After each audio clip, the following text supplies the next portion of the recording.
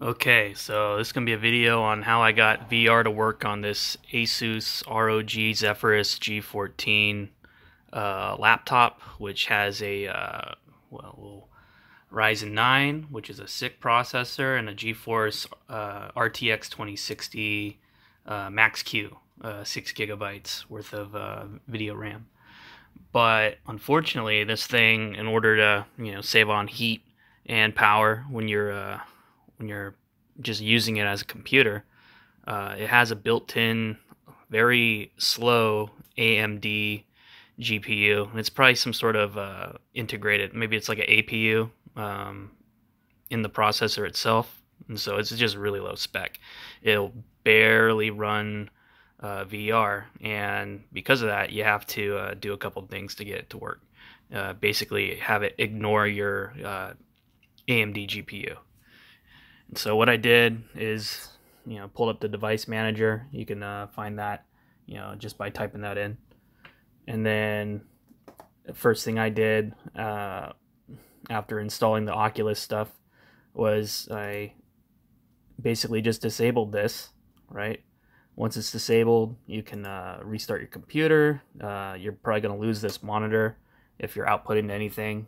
Uh, this thing will go from 120 hertz down to 60 because it's just running off the, the NVIDIA card, just kind of like an autistic mode. Um, and as soon as uh, as soon as that happens, once you restart, you can um, X out of that. You can turn on your Oculus software. So once you have your Oculus software on, uh, you can go in devices. Uh, it'll probably load up your home uh, if you have it connected. Um, but in here, you know, make sure that um, you have your audio uh, as well going on onto both sources if you want, and uh, you can set your graphics performance. You know, people leave it in automatic, but if you want to play DCS, you should probably try prioritize performance. Or uh, I have it on balanced, but I'm probably gonna put it back in performance. Okay. Um, once uh, once your headset's on, you have to enable Link on your uh, your VR. Um, other than that, oh yeah, all right. So once um, once you get uh, basically the home to show up through the Quest link on that, it doesn't matter if you have USB 3 or USB 2. Uh, it only sends 100 megabits out to the, or maybe it's 150. I don't, I don't really know. It's not enough to warrant a USB 3 cable, that's for sure. I'm uh, I'm plugged into the USB-C port on the right. Um, it works on the left, but I, it looks like it, it stutters a lot less on the right. Uh, just from my PC, yours could be way different, uh, but that's just what I'm doing. All I, you know, I, I just use this for my capture card for uh, live streaming, uh, or I put a, a you know, laptop hard drive in there, SSD or something if I'm playing like Call of Duty because that game's like 400 gigs at this point.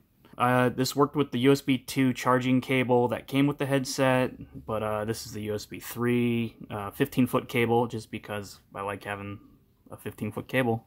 Yeah, once you get it running home uh, on your VR headset, you can go back into your device manager and then under your display adapters, you could re-enable this uh, make sure you've already run your uh, Oculus software and make sure it's working before you basically turn it back on.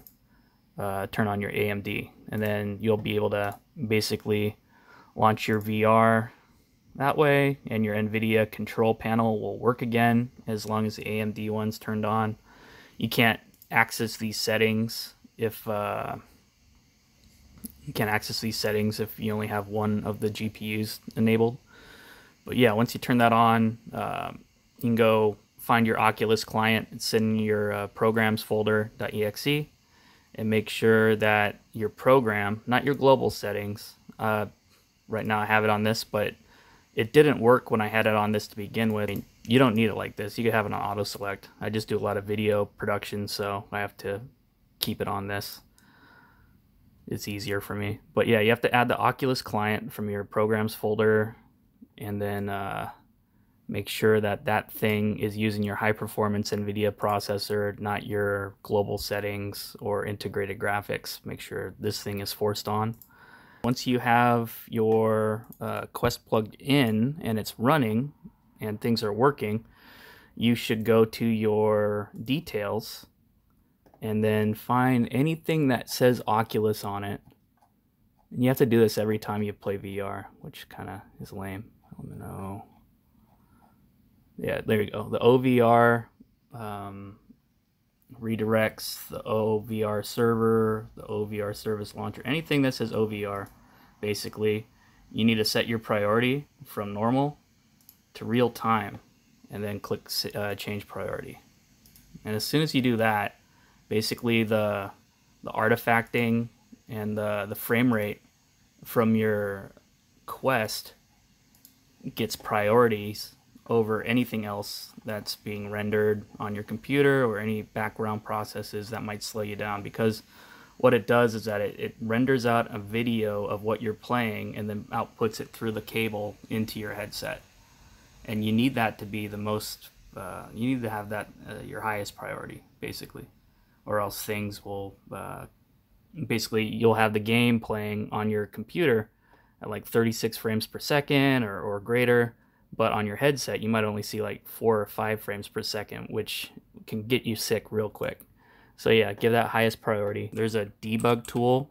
This one comes with your your oculus headset um, software.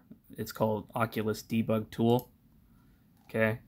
And you can find that in your programs set, uh, for oculus and make sure that asynchronous space warp is disabled what uh, space warp and asynchronous space warp does is that once your frame rate um, starts dipping, it will take your fast frame rate and put it into a uh, a lower frame rate that's locked. So basically, your you know your Oculus will um, will output 72 hertz, right? 72 frames per second. Uh, but as soon as it experiences a hiccup, those 72s uh, gets halved into 36 frames per second, which uh, you know it's it's doable. But this thing can definitely do more than 36 frames per second in VR mode uh, in DCS. So you know that's that's up to you. But for me, I have it disabled. And then sometimes to make it work, you have to hit Control and one on your numpad. Obviously, this thing doesn't have a, a one on a numpad, so uh, sometimes you have to hit this and that to disable the asynchronous warping, even though this thing's disabled here. So, uh, I don't know, just heads up. And last but not least, in the NVIDIA control panel, which you could just get from right-clicking on your desktop and go in the control panel, make sure that your power management mode is prefer maximum performance. Okay? And then um, on this computer specifically, there's the Armoury Crate app.